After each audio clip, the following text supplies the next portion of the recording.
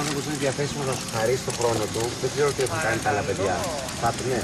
Ο Α, χα- σας παρακαλώ, άμα είναι να στερώ από το χρόνο σας, ε, ευχαριστώ Δεν πάρα δεν- πολύ. δεν- δεν- δεν συζητάω μαζί σου όταν με ηρωνεύεσαι. Γιατί; Δε- γιατί δεν μου αρέσουν οι ηρωνίες. Και Μα δεν μου δέχομαι αρέσει ειδικά τώρα από αυτή τη σένα, στιγμή όταν από κάποιος σένα είναι να να ειρωνευτεί σου εσύ εμένα. χαρίσει το Δεν το χρόνο δέχομαι. του.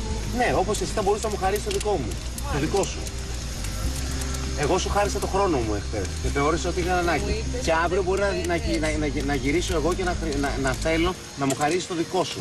Σταμάτα να, να, να, να, να με ειρωνεύεσαι. Εγώ. Σε παρακαλώ πάρα πολύ αν θέλεις να συνεχίσουμε να κουβεντιάζουμε. Έχω όλη την καλή διάθεση να κουβεντιάσω μαζί σου. Έχω όλη την καλή διάθεση να έρθω από εκεί και να σου πω να μην σηκωθείς να φύγεις με οικειοθελή αποχώρηση και να κάτσεις να περιμένεις και να ελέγξεις την παράνοιά σου. Τι θέλεις, την παράνοια. Ναι, την παράνοιά σου.